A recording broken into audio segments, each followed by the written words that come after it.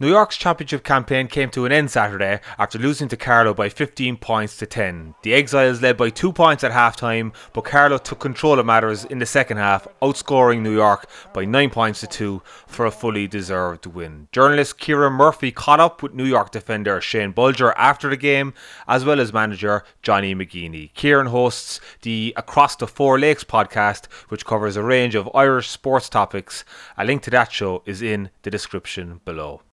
Shane Bolger, cornerback of the New York team that has just been beaten by Carlow in the Tailteann Cup. What's your thoughts, Shane? Uh, we had a good first half. We came out strong and we tried to play a bit defensive, drop men back, and things seemed to be going well.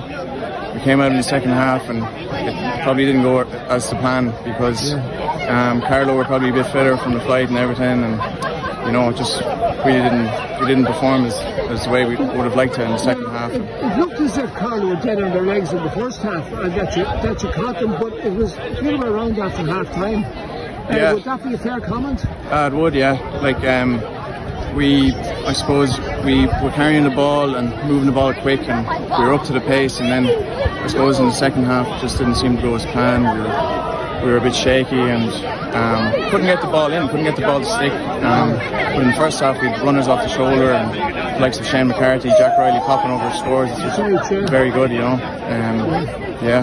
How would you find the pace of the game out there in the summer in the summer heat? Uh, it's different. It's a different ball game, especially on that AstroTurf in Gaelic Park. And when you come back to Ireland, as, as you saw in the Sligo game, Yeah. couldn't really couldn't really get used to it. So we're only after landing in on the Friday, and then you know you're trying to get a good sleep and tossing and turning in the bed, um, and then to play an intense inter-county game, 35 minutes and a half. It's, it's not that not that easy to adjust, you know. Yeah. But um, yeah, it's it's, it's worth saying that anyway.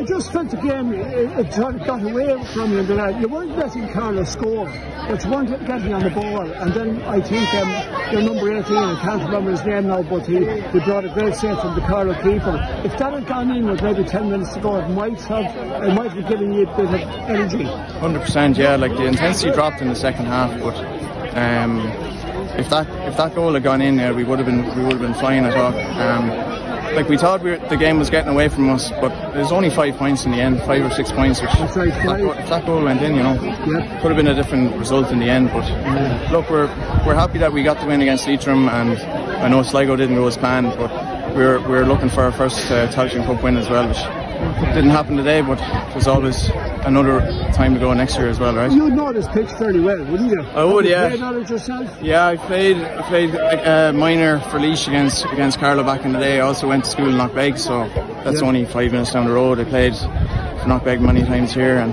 I, I'd be used to it. Yeah, um, it's not a bad stand, and I know a lot of the boys. I know Conor Crowley, Josh Moore, Ross Dunphy, Jordan Marcy from playing them back in the day. So there's a few familiar faces out there, which is Yeah. a bit strange, you know. I didn't think um, I would be playing against Carlow, and it was funny because my dad's Carlow's chairman as well. was which- coming to that. Your, Yeah. your, your dad, Jim, is uh, chairman of the Carlow County Board, so Yeah. it's a small world, really. Oh, it isn't is. Yeah, I didn't.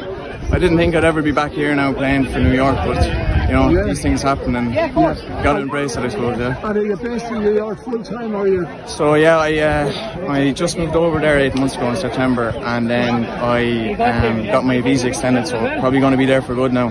The next three years at Yeah. least, and hopefully stay playing football, playing with Brooklyn Shamrocks, and playing with New York as well. So hopefully stick at it, and yeah, loving life. Yeah, what, what do you do? Uh, project manager for a concrete company. Yeah. It's all go, yeah. Yeah, your dad won't want to hear that, but you listen. No, not it's at a all. small world now. Get on a Yeah. plane and you can hop over here, or, or he can hop over to. Oh yeah, it's, it's not that far really, but Yeah. yeah. Yeah. And have you had many honours in um, New York club level? Uh, I don't. I'm only after moving over, so Yeah. I haven't really played much course, yeah. much club yet. It's just been Yeah. straight into the county setup there in September. So yeah. For the latest New York GAA news and other Irish American stories and podcasts, visit thelonghallpodcast.com.